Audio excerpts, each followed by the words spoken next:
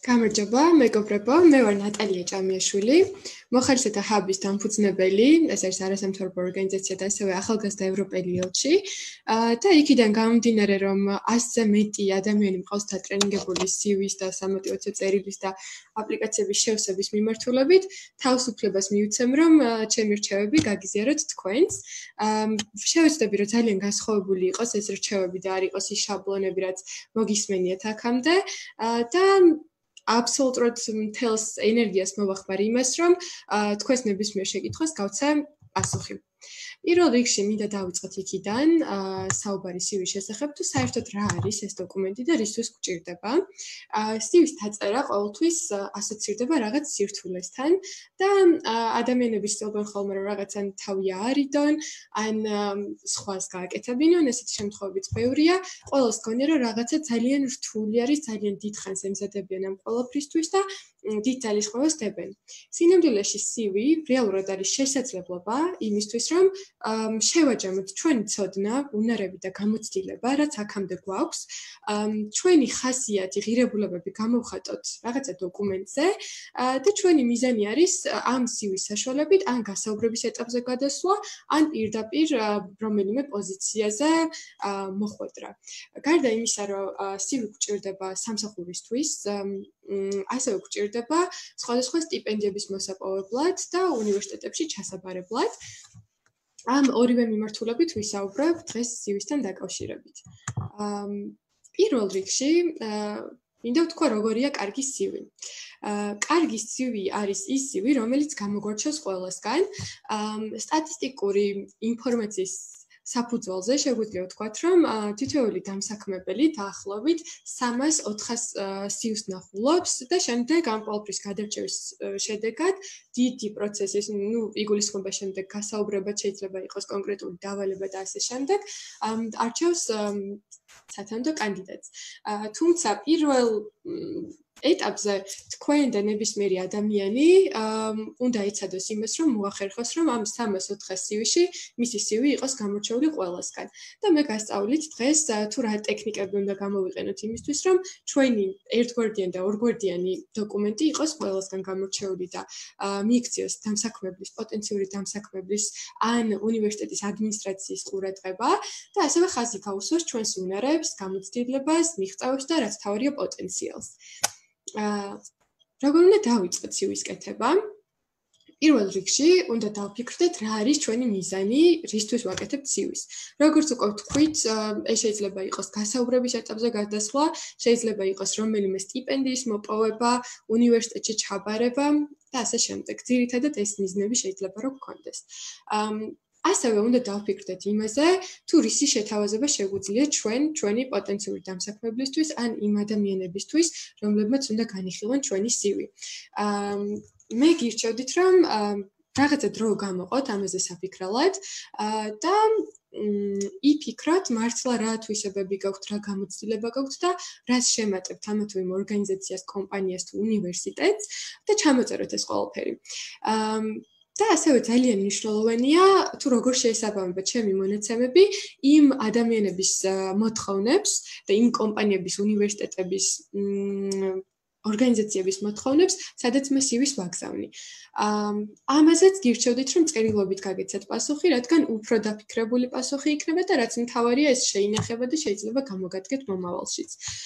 როგორც უკვე მიხვდით, იქიდან გამომდინარე, რომ ჩვენ CV-ს შექმნას ვიწყებთ, CV-ს მიზანზე დაფიქრებით, ყოველი CV განსხვავდება ერთმანეთისაგან. ანუ ხშირად დამკვიდრებული პრაქტიკაა ასეთი, რომ ადამიანები ქმნიან ერთ CV-ს, შემდეგ აღარ ანახლებენ მას წლების გან განმავლობაში და აგზავნიან სხვადასხვა დამსაქმებლებთან. რაც არის შეცდომა, იქიდან გამომდინარე, რომ ყველა დამსაქმებელს აქვს სხვადასხვა მოთხოვნა, ყველა დამსაქმებელი ეძებს სხვადასხვა კუთხეს თქვენსას, სხვადასხვა ძლიერ მხარეებს და შესაბამისად თქვენ თქვენ CV-ში, რომელიც არის ძალიან მოკლე დოკუმენტი, უნდა შეძლოთ თქვენი ძლიერი მხარეების წარმოჩენა. და უნდა გაფლანგოთ ეს ადგილი და სივრცე იმისთვის, რომ არასაჭირო ინფორმაცია ჩაწეროთ. აა მაგალითად, წარმოვიდგინეთ, რომ ადამიანი არის კომუნიკაციების მენეჯერი, თუმცა აქვს გამოცდილებები, გამოცდილება პროექტების მენეჯმენტის კუთხითაც. თუ ეს ადამიანი CV-ს აგზავნის რომელიმე პოზიციაზე, რაც კომუნიკაციასთან არის კავშირში, უმჯობესია რომ კომუნიკაციის უნარჩვევებს და ამ მიმართულებით მიღებულ გამოცდილებას გაუსვას ხაზი და არა პროექტებს და ასე შემდეგ, იქიდან გამომდინარე, რომ სწორედ კომუნიკაციის მხარეს ეძებენ პოტენციური დამსახურებლები მასში. იგივე არის მაგალითად ზოგიერთი ადამიანი უფრო აკადემიური, ანუ ყველას აქვს აკადემიური მხარეებიც და პრაქტიკული მხარეებიც. თუ ვაგზავნით CV-ს უნივერსიტეტში და გვინდა რომელიმე სტიპენდიის მოპოვება, ამ შემთხვევაში რა თქმა უნდა, ძალიან დიდი ყურადღება ექცევა ჩვენს აკადემიურ გამოცდილებას და მნიშვნელოვანია რომ ჩვენ CV-ში ადგილი დავუთმოთ აკადემიურ სტატიებს, მაგალითად თუ გვაქვს გამოქვეყნებული აკადემიურ კონფერენციებს და უფრო წინა პლანზე წამოვწიოთ.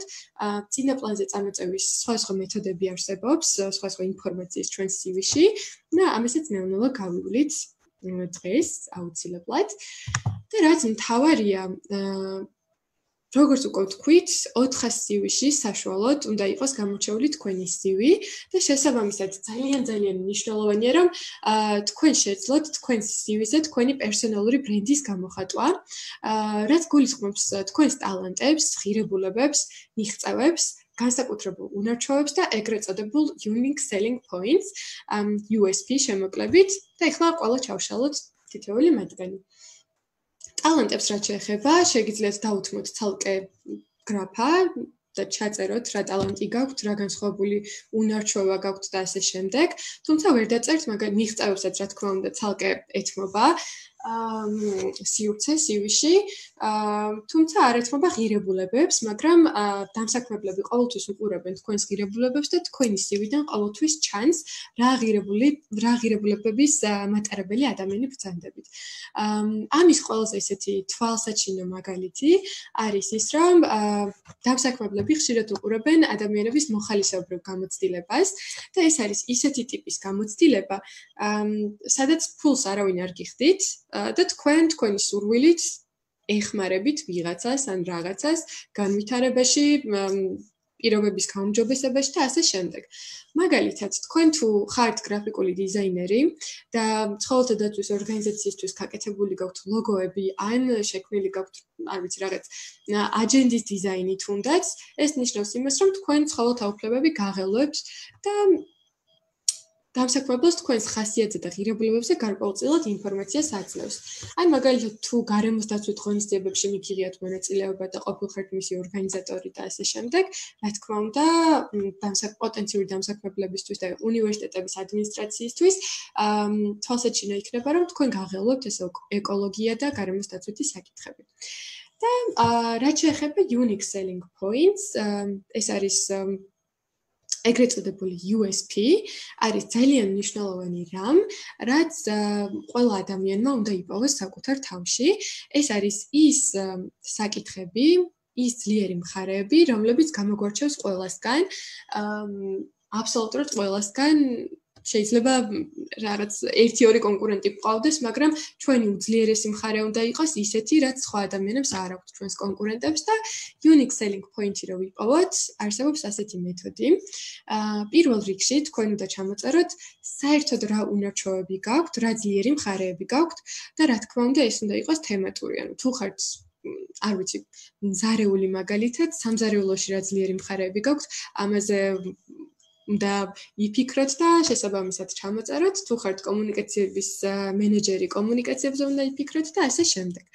აა შემდეგ უნდა იფიქროთ რა ჭირდებათ აა თქვენს დამსაქმებლებს ან უნივერსიტეტის ადმინისტრაციას, რომელიც რომელთანაც აგზავნით თქვენ თქვენ CV-ს და ასევე ჩამოწეროთ ძალიან დაწვრილებით, რა უნდათ, რა პიროვნული უნარჩვევები უნდათ, როგორი გამოცდილების მქონე ადამიანი უნდათ, როგორი мотиваციის მქონე ადამიანი უნდათ და ასევე მესამე წრეში აუცილებლად უნდა ჩამოწეროთ თქვენს კონკურენტებს რა უნარჩვევები აქვს, აქვთ ზოგადად დასაქმების ბაზარზე.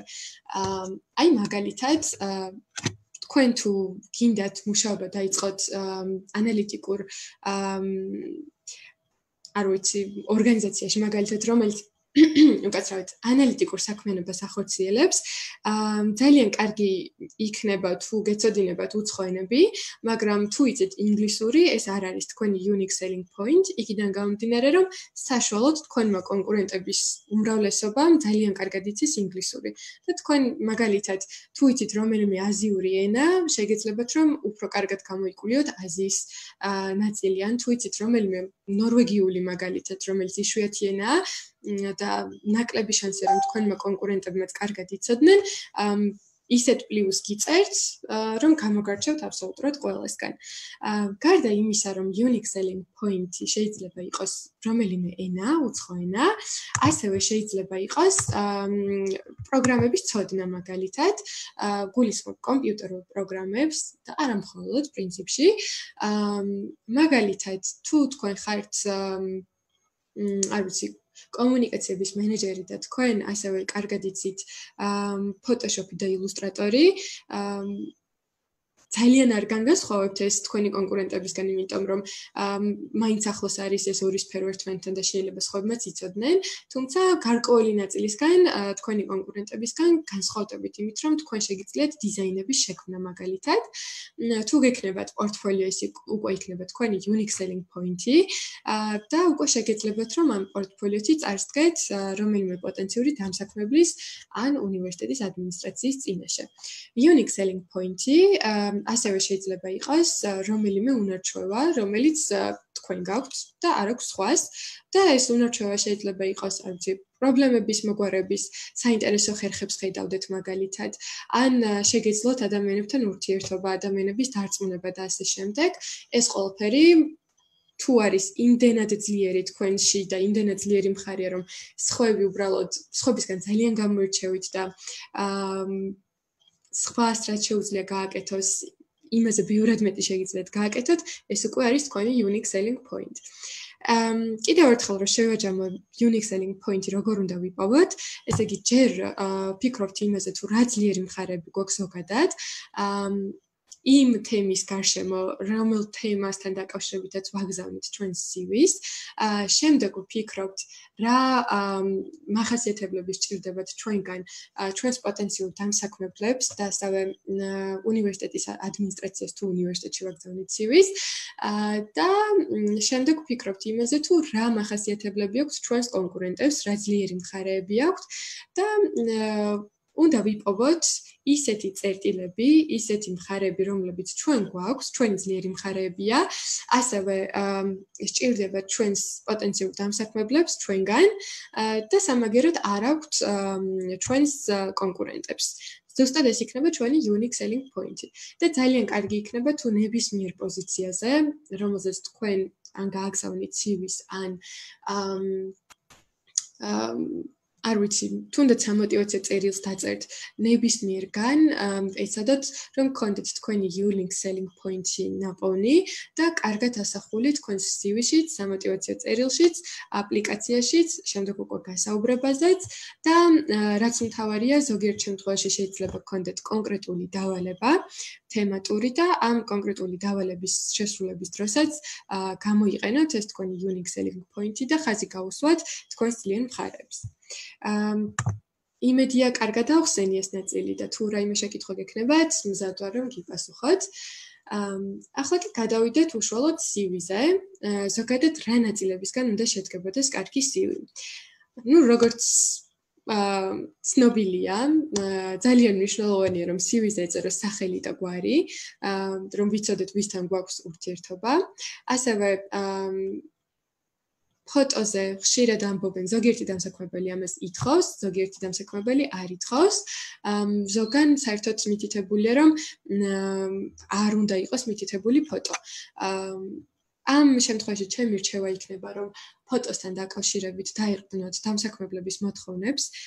თუ თქვენთვის კატეგორიულად მიუღებელია რომ გააგზავნოთ თქვენი CV ფოტოსურათთან ერთად, ამ შემთხვევაში არ გააგზავნოთ, რა თქმა უნდა, თუ საერთოდ იმდენად მიუღებელია რომ დამსაქმებელთან მუშაობაც აღარ გინდათ და იმ უნივერსიტეტში სწავლაც აღარ გინდათ, აა სხვა შემთხვევაში მე გირჩევდით რომ ფოტო გაგეკეთებინეთ თქვენ CV-ზე, ანუ ყოფილიყო ხილვადი თქვენ CV-ში, იქიდან გამომდინარე რომ ფოტო განგასხოვებთ სხვა ადამიანებისგან და სხვა სივებისგან.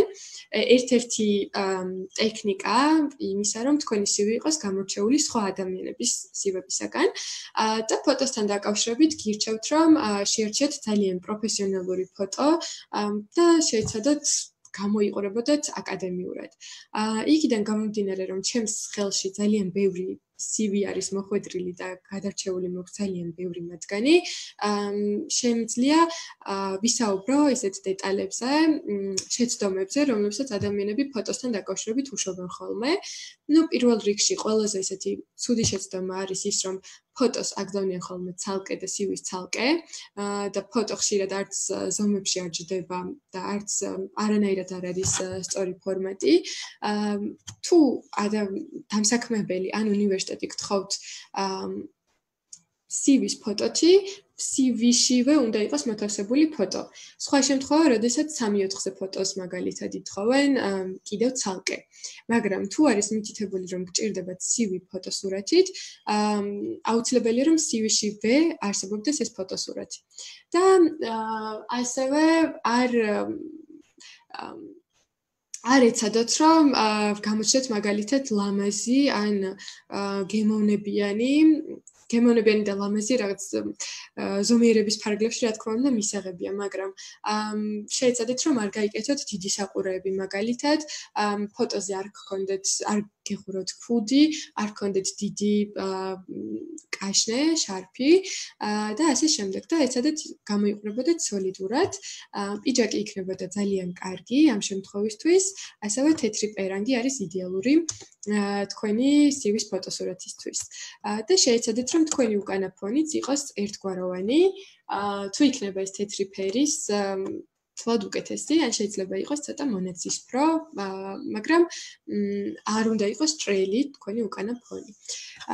და რაც მთავარია, უნდა იყოს ანფასი, ანუ უნდა იყურებოდეთ პირდაპირ, არ გადაიღოთ ფოტოები 3-4-ში და ასე შემდეგ.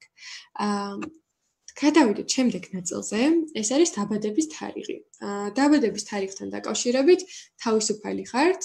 ზოგიერთი დამსაქმებელი დაინტერესებულია ასაკობრივი კატეგორიითაც თავისი თანამშრომლებით და შესაბამისად უკეთესი იქნება თუ მიუთითებთ თქვენს დაბადების თარიღს. თუმცა შეგიძლიათ არ მიუთითოთ, არ იქნება ტრაგედია. თუ თვლით რომ რაღაცა შეიძლება დაშავდეს ამით. აა რაც შეეხება საკონტაქტო ინფორმაციას, აა რა თქმა უნდა, საკონტაქტო ინფორმაცია უნდა იყოს მაქსიმალურად დეტალურად მითითებული. აუცილებელია თქვენი ტელეფონის ნომერი, აა ელექტრონული პოსტა და შეგიძლიათ მიუთითოთ მისამართიც, თუმცა მისამართთან დაკავშირებით ესეთი რჩევა მექნებოდა, რომ აა ზოგიერთ შემთხვევაში თქვენ შეიძლება გახდეთ ბრწყალებში დისკრიმინაციის მსხვერპლი თქვენი საცხოვრებელი ადგილიდან გამომდინარე. ზოგჯერ დამსაქმებლები ცდილობენ, რომ მოიძიონ კადრები, რომლებიც ოფისებთან ადრე ახლოს ცხოვრობენ, რადგან მათი აზრით მაგალითად ეს გამორიცხავს ან მინიმუმამდე დაიყვანს თანამშრომლების დაგვიანების სიხშირეს. და მაგალითად თუ ოფისი მდებარეობს საბურთალოზე, ცდილობენ ხოლმე რომ არა იყვანონ კადრები გლდანიდან მაგალითად. თუ არ გაქვთ ვალდებულება რომ მიუთითოთ მისამართი და ასევე ძალიან ახლოს არ ცხოვრობთ ოფისთან, მე გირჩევდით რომ არ მიგეთითებინათ მისამართი, მაგრამ თუ თქვენ CV-ს აგზავნით უნივერსიტეტში, აუცილებელია თქვენი მისამართის მითითება, ასევე საფოსტო კოდის მითითება, საზღვარგარეთ სტიპენდიებს გულისხმობ. აა საერთაშორისო უნივერსიტეტებს, რადგან შესაძლოა რაღაცა დოკუმენტების გადმოგზავნა გახდეს საჭირო და უნივერსიტეტის ადმინისტრაციას უნდა კონდეს ეს ინფორმაცია თქვენ შესახებ. აა რა შეიძლება თვითონ ელექტრონულ პოსტას, ელექტრონული პოსტა ძალიან კარგი იქნება თუ დამთავრდება gmail.com-ით.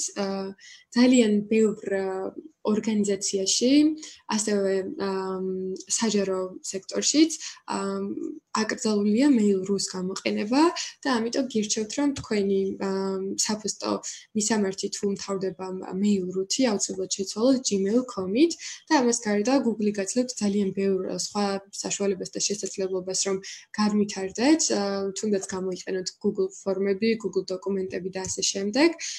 და როდესაც Gmail-ის მომხმარებელი ხართ, ამას უფრო მარტივად შეძლებთ. ასევე მაგალითად შეგიძლიათ შეხვედრები, ონლაინ შეხვედრებისთვის გამოიყენოთ თქვენი Gmail და ასე შემდეგ.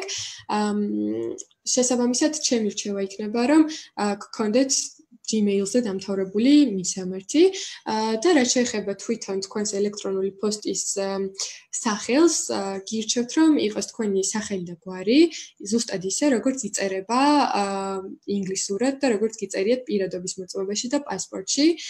შეეცადეთ რომ არ დაუშვათ შეცდომა ანუ სხვანაირად არ დაწეროთ თქვენ სახელი და გვარი. შესაძლოა ეს გახდეს სხვა სხვა პრობლემების გამომწვევი ოფისში. იქიდან გამომდინარე, რომ დამსაქმებლები ხშირად ქმნიან შიდა ქსელებს და შიდა ელექტრონულ პოსტებს თანამშრომლებისთვის და კარგია რომ ემთხოვდეს თქვენი ნამდვილი სახელი და გვარი და ასევე თქვენი ელექტრონული პოსტა რომელიც gmail.com-ზე გაქვთ რომ ვიღაცამ არ ჩათვალოს რომ ეს არის თქვენი ნამდვილი სახელი და გვარი და შემდეგ მოხდეს რაღაცა შეცდომები და არ გაიწელოს თქვენი მოკლედ კომფორტის შექმნა ორგანიზაციაში.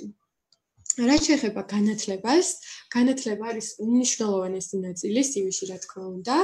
აა განათლებასთან დაკავშირებით ჩემი რჩევა იქნება ისეთი, რომ აა დაიწყოთ ყოველთვის იმ იმ განათლებით, რომელიც მიიღეთ ყველაზე ბოლოს, იმ უნივერსიტეტით, რომელიც დაამთავრეთ ყველაზე ბოლოს, აუცილებლად მიუთითეთ თარიღი, უნივერსიტეტი და ფაკულტეტი, რომელზეც სწავლობდით. ასევე ძალიან კარგი იქნება თუ მიუთითებთ GPA-ს, ანუ თქვენს საშუალო ქულას, რათა აჩვენოთ თუ როგორ როგორი მოსწრება გქონდათ უნივერსიტეტში. ну, ხრიკი არის ასეთი, რომ თუ მაინც-მაინც კარგი GPA არ გქონდათ უნივერსიტეტში სწავლის პერიოდისას, ჯობია არ დაიტანოთ თქვენს CV-ზე. აა რა შეეხება სკოლას, სკოლასთან დაკავშირებით ჩემი რჩევა იქნებოდა ასეთი, რომ თუ არ სწავლობდით რომელიმე სპეციალურ სკოლაში, რომელიც თქვენი პოზიციისთვის რაღაცის მომტანი იქნებოდა, მაშინ არ არის აუცილებელი რომ დააკონკრეტოთ სკოლა. ან თუ სწავლობდით უბრალოდ რომელიმე საჯარო სკოლაში, ამას ნიშნულობა არ ექნება, არც დადებითი, არც უარყოფითი თქვენი კანდიდატურის განხილვისას, მაგრამ თუ მაგალითად დაამთავრეთ კომაროვის სკოლა, ან ბეკუას სკოლა და რომელიმე მათემატიკის მიმართულებით გსურთ დასაქმება ან ფინანსების და ასე შემდეგ, ტექნიკური, შედარებით ტექნიკური მიმართულებით, შეიძლება დაგეხმაროთ ეს სკოლის პერიოდი და გაძლიერებული ტექნიკური საგნების სწავლა. შესაბამისად, მაგ შემთხვევაში გირჩევთ რომ დაიტანოთ თქვენი სკოლის გამოცდილებაც, საგანმანათლებლო გამოცდილება. ასევე ძალიან მნიშვნელოვანია რომ თქვენს CV-ში კარგად ასახოთ სამუშაო გამოცდილება. სამუშაო გამოცდილება განსაკუთრებით ახალგაზრდების შემთხვევაში ცოტა რთულია ხოლმე ჩასაწერად, როდესაც პირველ კურსზე ხარ და პირველ სამსახურს ეძებ, რთულია რომ ეს ვილი რამენაირად შეავსო, მაგრამ აქედან გამოსავალი არის ის, რომ შეგვიძლია მივუთითოთ ჩვენი მოხალისეობრივი გამოცდილება. აუცილებლად CV-ში უნდა დავაკონკრეტოთ, რომ ეს იყო მოხალისეობრივი გამოცდილება გამოცდილება და ამაში ჩვენ არ აგვიღია ანსხაურება. ეს გარკვეულწილად შეიძლება უკეთესადაც კი მოქმედებდეს ჩვენს იმიჯზე, უფრო მეტ ქულას გვიწერდეს, იმიტომ რომ როგორც ცოტა ხნის წინ აღნიშნე, იმის მაჩვენებელია ჩვენი მოხალისეობრივი საქმიანობა, რომ რაღაც მართლაც არის ჩვენთვის ღირებული და მთელი გულით ვცდილობდით ამ პრობლემის გადაჭრას და ჩვენი წვლილი შეტანას ამა თუ იმ სფეროში.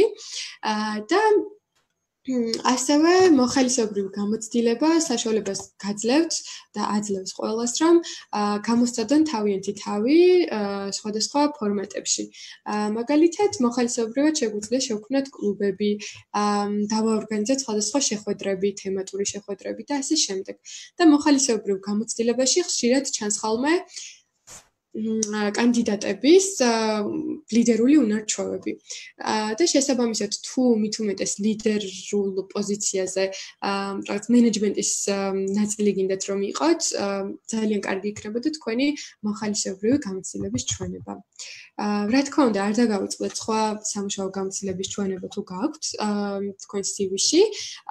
აქაც ისევე როგორც განათლების შემთხვევაში, გირჩევთ რომ დაიწყოთ ყველაზე ახალი გამოცდილებიდან ანუ ბოლო სამსახურიდან და გაყვეთ პირველისკენ.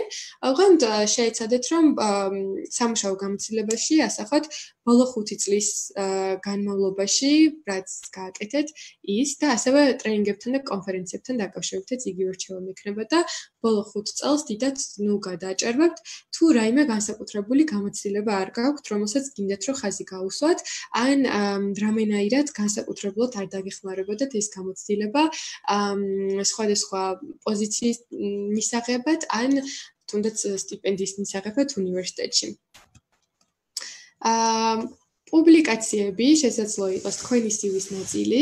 აა იმ შემთხვევაში, თუ გაქვთ, რა თქმა უნდა, და თუ თქვენი პროფესია ამის საშუალებას იძლევა, თუ ხართ აკადემიური მიმართულებით, ან თუნდაც სტუდენტი ხართ და გინდათ დასაქმდეთ აკადემიური მიმართულებით, ძალიან კარგი იქნებოდა თქვენი პუბლიკაციების ჩვენება. აქაც იგივეს გირჩევდით, რომ დაიწყოთ ყველაზე ბოლო პუბლიკაციებით, უახლესით და გაყვეთ ყველაზე ძველისკენ. აა შეეცადეთ რომ თემატურად თუ გაქვთ ბევრი პუბლიკაცია ამოარჩიოთ ის პუბლიკაციები რომლებიც თემატურად შეესაბამება იმ პოზიციას რომელსაც აგზავნით თქვენ თქვენ CV-ს და კარგი იქნება თუ დაიტანთ ასევე თარიღებს როდის გამოაქვეყნეთ ეს პუბლიკაცია სად გამოაქვეყნეთ და ასევე თუ არის შესაძლებელი ლინკებით შეგიძლიათ მიუთითოთ რომლის გახსნის შემთხვევაშიც პოტენციურ დამსაქმებლებს ან უნივერსიტეტის ადმინისტრაციის წარმომადგენლებს შეიძლება ალბათ გაიცნოთ თქვენს პუბლიკაციებს და მართლა ნახონ თქვენი ნამუშევრები. ტრენინგები, ვორქშოპები, კონფერენციები, რომლებიც პოზიციასთან არის კავშირში, არც ერთ შემთხვევაში არ უნდა გამოტოვოთ და უნდა ასახოთ აუცილებლად თქვენ CV-ში. აქაც იგივე რჩევა მექნებოდა, რომ დაიწყოთ ყველაზე ბოლო ტრენინგებით, ყველაზე ახალი ტრენინგებით და გავყვეთ ყველაზე ძველისკენ. და შეეცადეთ რომ იყოს იმ პოზიციასთან კავშირში, რომელზეც აგზავნით თქვენ CV-ს იქიდან გამომდინარე, რომ შეიძლება ბევრი და მრავალფეროვანი გამოცდილება გქონდეთ, მაგრამ საერთოდ არ იყოს თქვენი კულინარიული მიღწევები მაგალითად იმ ადამიანებისთვის საინტერესო, რომლებიც კადრს ეძებენ კომუნიკაციების მიმართულებით. და ძალიან კარგი იქნება თუ ამ ყოველფერს ლაკონურად და თემატურად დაალაგებთ თქვენ CV-ში და ადვილი აღსაქმელი იქნება შემდეგ უკვე პოტენციური დასაქმების მხრიდან თქვენი უნარჩვევები და გამოცდილება. ასევე ძალიან მნიშვნელოვანია რომ თქვენ CV-ში პატარა ადგილი გამოვყოთ თქვენს უნარებს და აქ შეგიძლიათ ეგრეთ წოდებული hard skill-ებიც მოიცოთ და ასევე soft skill-ები. soft skill-ებიდან განსაკუთრებით აქტუალური არის საერთაშორისო მასშტაბებით მაგალითად პრობლემების გადაწყვეტის უნარჩვევები, ასევე კომუნიკაციის უნარჩვევები, ინოვაციურობა, რომ შეგეძლოთ რაღაც ახლის შექმნა, ახალი გადაწყვეტილებების მოფიქრება სხვადასხვა პრობლემებისთვის. ასევე ძალიან მნიშვნელოვანია კრეატიულობა. თუ არ ხართ კრეატიულ ინდუსტრიაში, მაინც ძალიან მნიშვნელოვანია თქვენი კრეატიულობა, რადგან ყველა კითხვაზე შეიძლება არსებობს შეიძლება არსებობდეს სფეროები, სადაც ფიქრობდნენ, რომ ყველა კითხვაზე პასუხი უკვე არსებობს და გაწერილია ყველაფერი, მაგრამ კრეატიულ ადამიანებს შეუძლიათ გაათულონ საქმე, არა მხოლოდ საკუთარი თავისთვის, არამედ თანამშრომლებისთვის და ძალიან მნიშვნელოვანია ასეთი ადამიანები გუნდში. თქვენი სხვა უნარჩვევები, რომლებიც გაქვთ, ძალიან კარგი იქნებოდა რომ აგესახათ. hard skill-ებში ძალიან მნიშვნელოვანია ასევე ასახოთ ის პროგრამები, კომპიუტერული პროგრამები, რომლებიც იცით და რომლებიც, რა თქმა უნდა, კავშირშია იმ პოზიციასთან, რომელ პოზიციაზეც აგზავნით CV-ს. თუ გაქვთ მიღებული რომელიმე ჯილდო, აა აკაც გირჩევდით რომ გამოუყოთ ჯილდოებს ცალკე ადგილი თქვენ CV-ში. აა ეს ჯილდო შეიძლება იყოს სტუდენტების შემთხვევაში სტიპენდია მაგალითად ან ოლიმპიადის გამარჯვება ან არ ვიცი ნებისმიერი სხვა რამ ასევე შეიძლება იყოს უკვე ვინც დასაქმებულია იმ ადამიანებისთვის სხვადასხვა ნომინაციები რომლებიც სამსახურში დაიმსახურეს და ძალიან კარგი იქნებოდა თუ ამას ასახავთ მათ შორის თუ გაქვთ ისეთი ჯილდოები მიღებული რომლებიც შედარებით ნაკლებად ფორმალურია, მაგალითად გახდით ორგანიზაციის ღიმილი, ან ასე შემდეგ, ესე შეიძლება მეტყველებდეს თქვენს ღირებულებებზე, თქვენს ხასიათზე და ხაზი მაინც და მაინც არ გაუსვათ ამას, მაგრამ კარგი იქნება რომ სადმე აღნიშნოთ თქვენი ეს მიღწევაც. აა ენები არის უნიშნელოვანესი, რა თქმა უნდა, ყველა პოზიციაზე და ძალიან მნიშვნელოვანია, რომ ენები მიუთითებს სწორად. აა ჩამოთვალეთ ყველა ის ენა, რომელიც იცით და რომელზეც დაგიხარჯავთ დრო რომ გესწავლათ. ქართულის მითითება საჭირო არ არის თუ აგზავნით საქართველოსში სივის, თუ აგზავნით საზღვარგარეთ, მაგალითად თურქეთში თუ აგზავნით სივის, რა თქმა უნდა, ქართული შეიძლება გამოგადგეთ. პოზიციასთან დაკავშირებით, თქო პოზიციას გააჩნია აქაც. და მაგ შემთხვევაში უნდა მიუთითოთ, მაგრამ საქართველოს თუ აგზავნით სივის, ქართულის მითითება საჭირო აღარ არის. თუ კი რამე ენა იცით, აუცილებლად ყველაფერი უნდა მიუთითოთ და ასევე უნდა მიუთითოთ დაახლოებით რაიმე საზომი, როგორ იცით ესა თუ ის ენა. აა თუ მიუთითებთ აა დონეს თუ გაქვთ სერტიფიკატი, რა თქმა უნდა, ესეც უნდა დაწეროთ აუცილებლად და აა სწორად აღნიშნოთ. აა და თუ არ გაქვთ სერტიფიკატი, მაშინ თქვენი აღქმით, რომელ დონეზეც ხართ, ის დონე რომ მიუთითოთ, იქნება ძალიან კარგი. აა ასევე კვლევები თუ გაქვთ გაკეთებული და აკადემიურ სფეროში ხართ, ძალიან მნიშვნელოვანია თქვენი კვლევების შესახებ ინფორმაციის გაზიარებაც. თუ გაქვთ ჰობი ან ინტერესები, ამ შემთხვევაში გირჩევთ, რომ თუ თქვენი ჰობი და ინტერესები კავშირში არის იმ სფეროსთან, რომელ სფეროშიც თქვენ აგზავნით თქვენ CV-ს, აუცილებლად მიუთითოთ ყველაზე ბოლო ნაწილში თქვენი CV-ს. მაგრამ თუ აგზავნით მაგალითად PR-ის მიმართულებით თქვენ CV-ს და თქვენი ჰობია ქსოვა, ამ შემთხვევაში დიდად ვერ დავეხმარებათ თქვენი ჰობი თქვენს პროფესიულ საქმიანობაში, ამიტომ ტყუილად აღარ დაუთმოთ ეს ადგილი თქვენ CV-ში ქსოვას. და რაც შეეხება ოჯახურ მდგომარეობას, ეს არის ძალიან ძალიან მნიშვნელოვანი ნაწილი აა ზოგადად ჩვენი დისკუსიის, იქიდან გამომდინარე, რომ აა ხშირად ადამიანებს ეკითხებიან ოჯახურ მდგომარეობას ან CV-ზე ითხოვენ რომ იყოს დატანილი ეს ინფორმაცია, ან შემდეგ გასაუბრებაზე, ან არაფორმალურად მაინც და ეს ყველაფერი სანამ ანუ ეს ოჯახური მდგომარეობის განხილვა კანდიდატის შესახებ გადაწყვეტილების მიღებამდე არ არის სწორი საქციელი, იქიდან გამომდინარე, რომ კანდიდატების საკმაოდ დიდი ნაწილი, განსაკუთრებით ქალების შემთხვევაში, იჩაგრებიან იმის გამო, რომ არიან დაქორწინებულები, ან არიან ახალგაზრდები და პოტენციურად მათ ეყოლებათ შვილები ახლო მომავალში და შესაბამისად მათ სასარგებლოდ არ იღებენ ხოლმე პოტენციური დამსაქმებლები გადაწყვეტილებებს. ამიტომ ჩემი რჩევა იქნება, რომ ოჯახურ მდგომარეობაზე საერთოდ არ ისაუბროთ თქვენს CV-ში და არც სამოტივაციო წერილში. აა და გადავედით ძალიან მნიშვნელოვან ნაწილზე. ჩვენ თქვით რომ უნდა მოვერგოთ იმ პოზიციას, რომელ პოზიციაზეც გსურს ჩვენი CV-ს გაგზავნა, მაგრამ როგორ უნდა მოვერგოთ ამ პოზიციას? აუცილებლად უნდა გავაკეთოთ იმ ორგანიზაციის ან უნივერსიტეტის ანალიზი, სადაც ვაგზავნით ჩვენ CV-ს.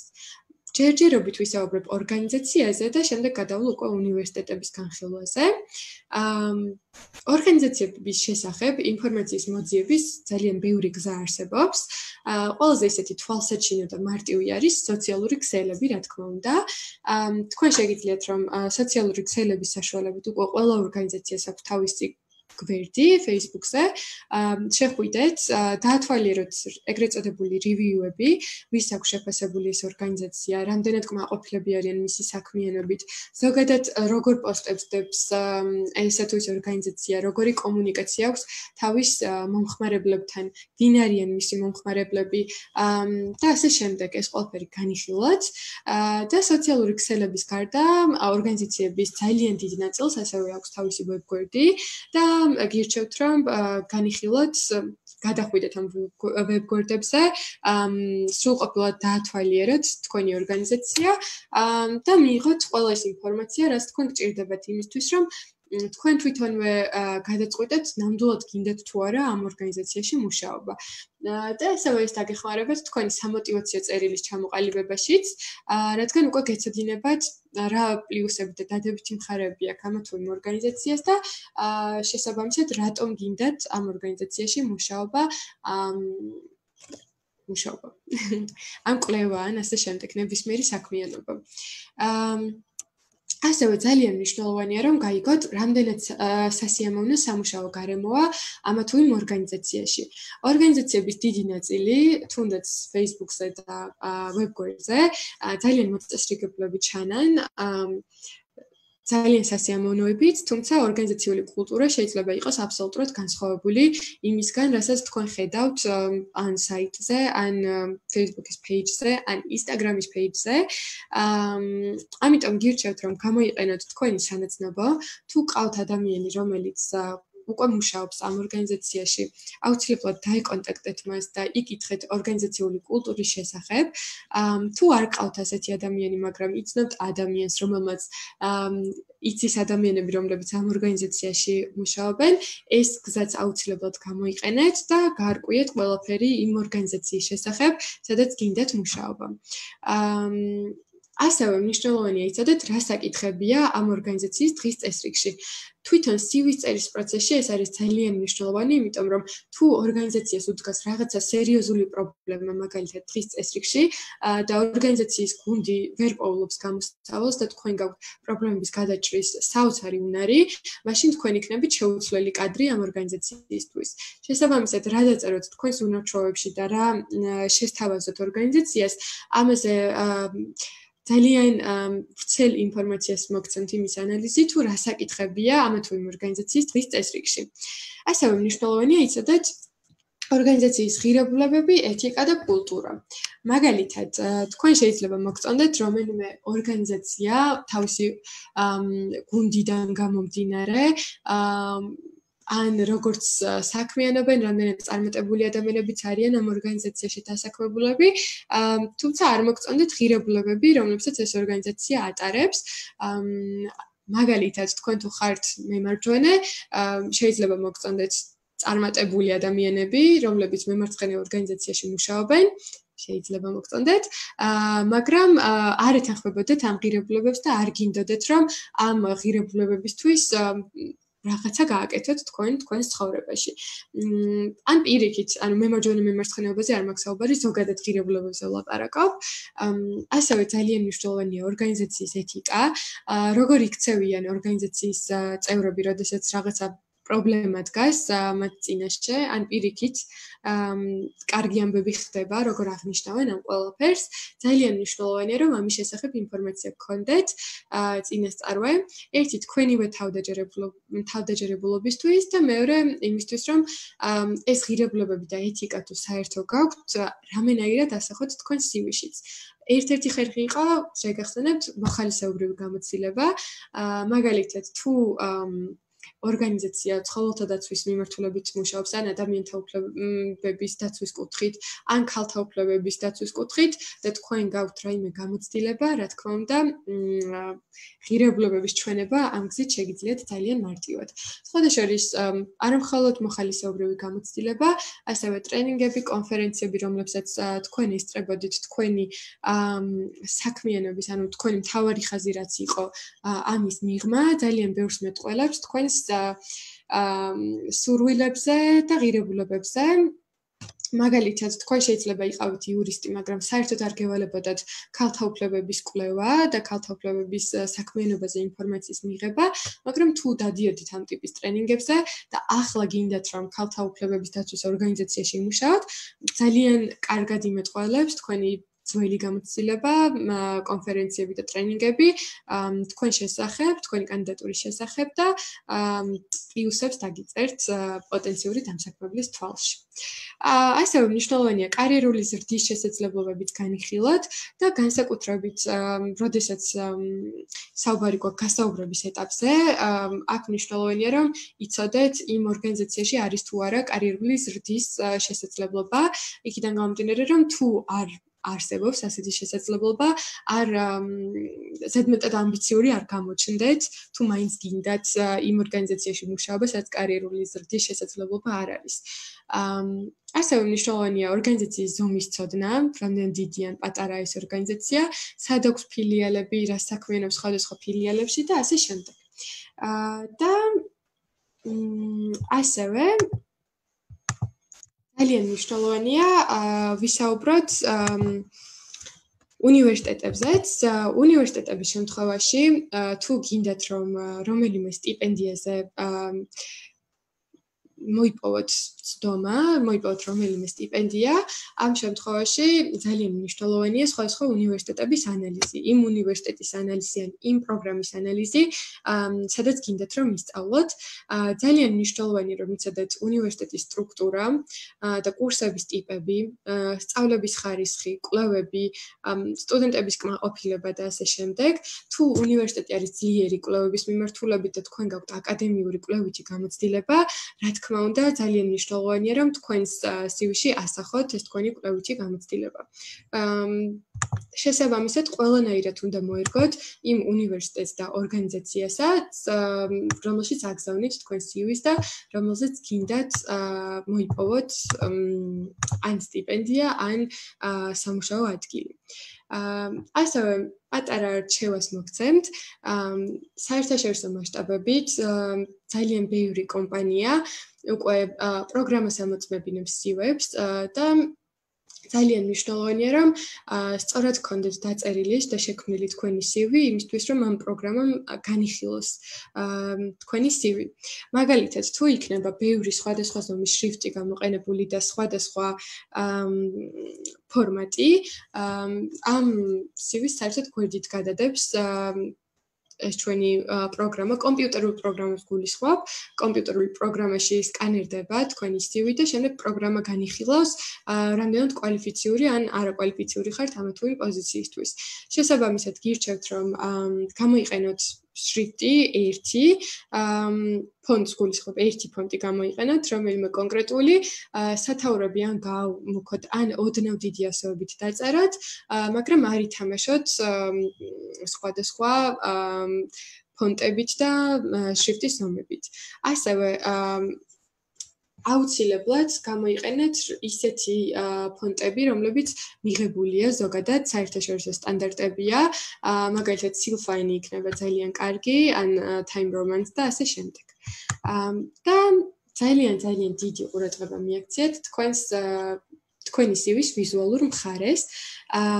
CV უნდა იყოს რაც შეიძლება სადა, ოღონდ გაჩნია სადაგზავნით CV-ს და მიხართ პროფესიით, მაგალითად თუ თქვენ ხართ გრაფიკული დიზაინერი, რა თქმა უნდა, თეთრზე შავად დაწერილი თქვენი სამშაო გამოცდილება არ იქნება საინტერესო თქვენი დამსაქმებლისთვის და შეგიძლიათ რომ თქვენი პროფესიული გამოცდილება და ხედვები თქვენ CV-ზეც ასახოთ, ამიტომ აუცილებლად უნდა გამოიყენოთ ეს შანსი, მაგრამ თუ ხართ უბრალოდ აა სხვა პროფესიის ადამიანი, რომელსაც ოფისში უნდა მუშაობა, აა მაგ შემთხვევაში გირჩევთ, რომ მაქსიმალურად სადა დიზაინი არჩიოთ თქვენი CV-ისთვის.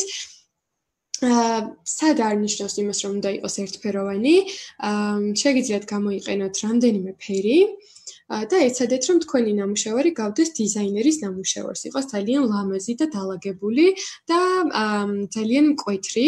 ტექსტები უნდა იყოს გამოყოფილი ერთმანეთისგან, მკვეთრ ფერებს არ გულისხმობ, ოღონდ გულისხმობ იმას, რომ მკვეთრად იყოს გამოყოფილი სივის სხვადასხვა ნაწილები ერთმანეთისგან. ასევე ტექსტები უნდა იყოს მკაფიოდ გამოყოფილი ერთმანეთისგან. ანუ სად საუბრობთ მაგალითად თქვენს გამოცდილებაზე და სად საუბრობთ თქვენს განათლებაზე, უნდა იყოს გამიჯნული ერთმანეთისგან აუცილებლად. აა გამოიყენეთ CV-ს მაგენერირებელი პროგრამები, როგორც არის მაგალითად Canva.com-ი, რომელიც მე ძალიან მიყვარს, იმიტომ რომ ძალიან მარტივია, უკვე არის შედგენილი შაბლონები, რომლებშიც შეგიძლიათ თუნდაც ქართულად ჩაწეროთ ნებისმიერი რამ, რაც თქვენ გინდათ, ოდნავ შეცვალოთ ეს შაბლონები და თვითონ შაბლონები არის ინგლისურად მოცემული, მაგრამ თქვენ შეგიძლიათ რომ წაშალოთ და გადმოაქართულოთ ეს ყველაფერი. და CV-ს ექნება ძალიან სადა და ლამაზი დიზაინი. და ჩემი ძალიან დიდი რჩევა იქნება, რომ გამოიყენოთ Canva.com-ი. აა ასევე Canva.com-ი შეგიძლიათ გამოიყენოთ სხვა ტიპის დოკუმენტებისთვისაც, მათ შორის სამოტივაციო წერილის დასაწერად. ასევე კიდევ ერთი გავრცელებული CV-ს მაგენერირებელი პროგრამა არის ევროპასი, ეგრეთ წოდებული, რომელიც უმრავლესობა თქვენგანს გაუგია.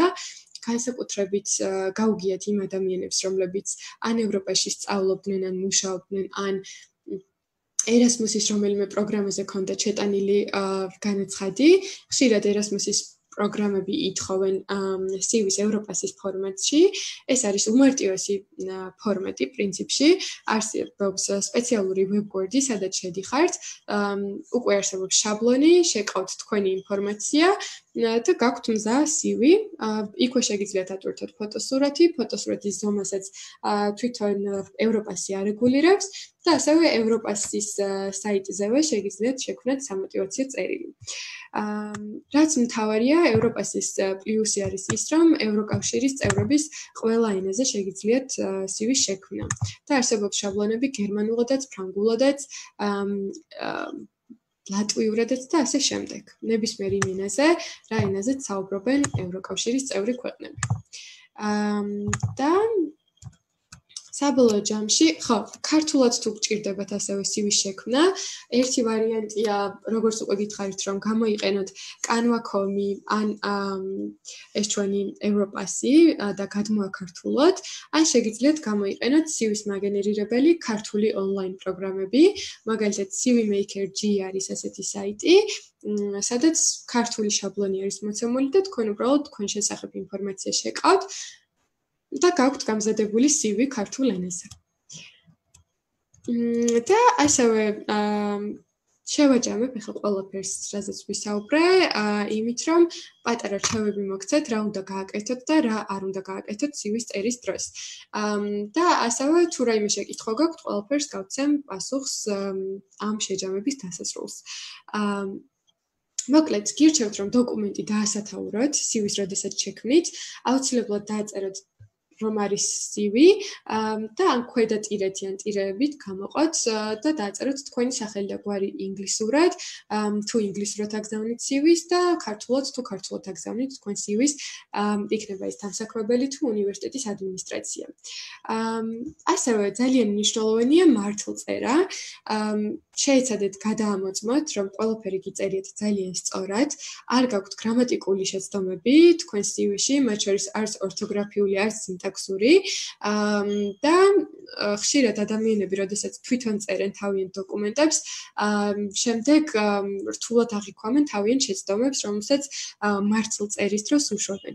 ამიტომ ჩემი რჩევა იქნება, რომ გადაახედოთ თქვენს მეგობარს, ახლობელს, კოლეგას თქვენი CV-სთვის და შემდეგ მან გითხრათ, სადმე ხომ არ გაქვთ შეცდომა გაპარული.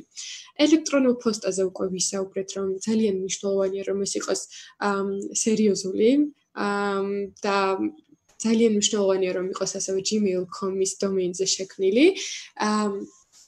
გირჩევთ რომ გადახედოთ თქვენ CV-ს ყოველთვის სანამ გააგზავნით თქვენს დამსაქმებელთან და რაც პოზიციასთან არ არის კავშირში ამოიღოთ ან მაქსიმალურად შეამოკლოთ.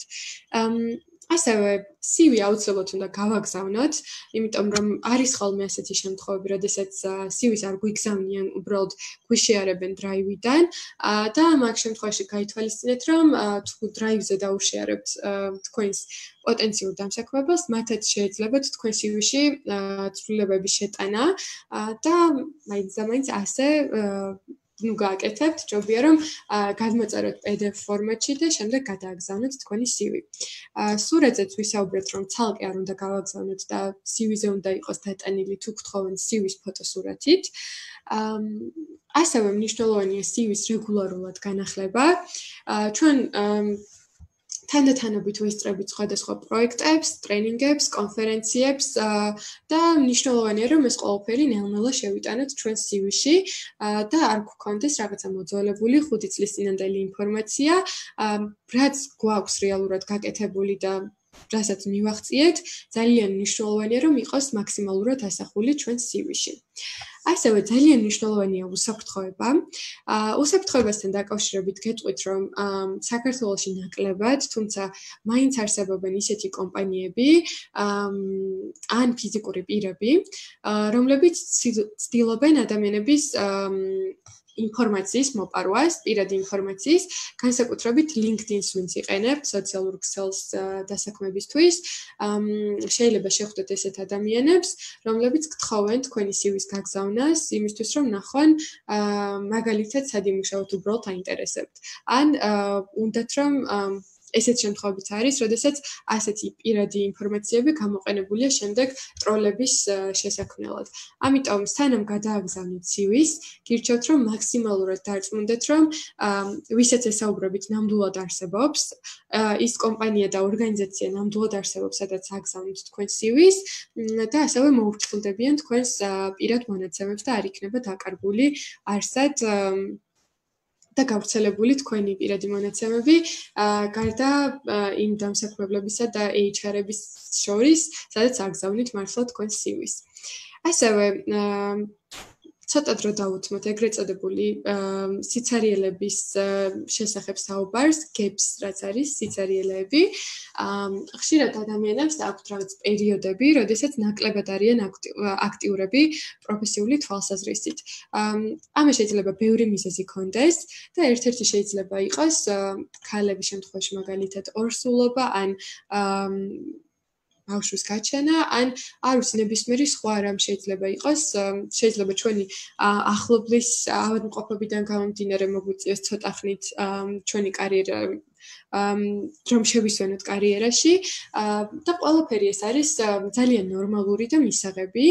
და თუ გვაქვს რაღაცა სიცარიელე, ანუ წყვეტა ჩვენს კარიერაში, თავარია რომ ავხსნათ ჩვენს დამსაქმებლებთან და ამის გამო არ უნდა დავპანიკდეთ, არ უნდა ვინერვიულოთ. ყველაფერი არის მოკლედ მოგვარებადი. და ესეთ პატარა ჩავმექნება, რომ თუ გაქვთ დიდი გამოტოვებები, ანუ წყვეტები თქვენს კარიერაში, როდესაც მიუთითებთ თქვენ სამშაო გამოცდილებას, არ დააკონკრეტოთ თვე და რიცხვი, როდესაც თქვენ წამოხვედით ერთი სამსახურიდან და შემდეგ წახვედით მეორე სამსახურში, დააკონკრეტეთ წლები მხოლოდ და გაცილებით ნაკლებად ახსაქმელი იქნება ის, რომ გქონდეთ წყვეტა კარიერაში. ასევე სათაურები შეგიძლიათ გავამოქოთ იმისთვის რომ უფრო მარტივად ახმედი იყოს თქვენი CV.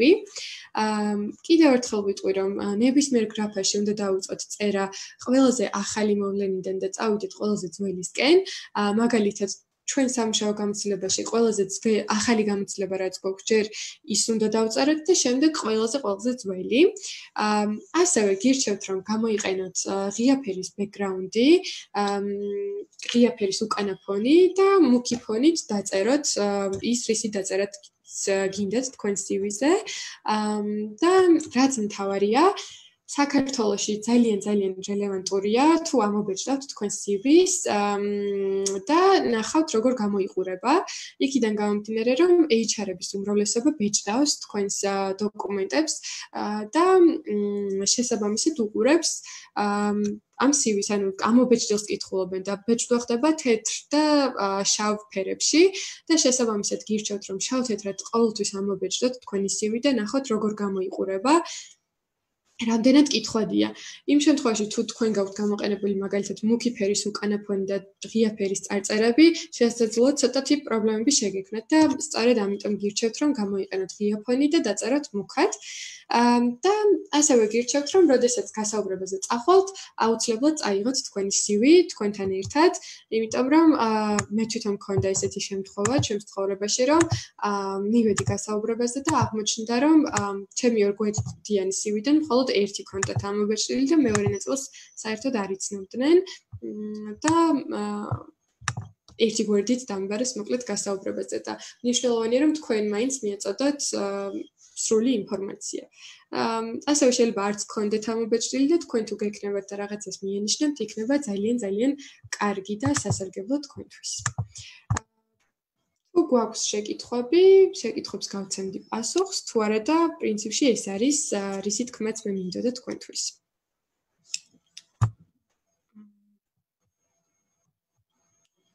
აველოდები რომ მომწერან.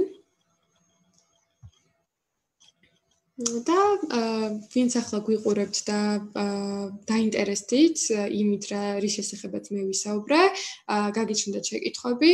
გარდა იმისა, რომ ამ page-ზე მუდმივად მუდმივად მზადვა რომ გიპასუხოთ, ასევე შეგიძლიათ მომწეროთ პირადად და პირადადაც გაგცემთ შეკითხვებს და მოგცემთ ყველა იმ რჩევას, რომელსაც ჩემს მეგობრებს და თანამშრომლებს და კოლეგებს მიცემდი დიდი დიდი სიამოვნებით.